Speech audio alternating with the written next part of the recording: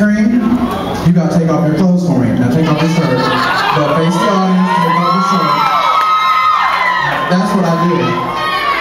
But but stand back so I can take a look. So I can get a mental picture for later when I jack off. A little bit faster, I ain't got all night. Oh. I was gonna ask if you're a bottom, but by the way that belt looks, you're a bottom, aren't you? You got a big dick? How big is it?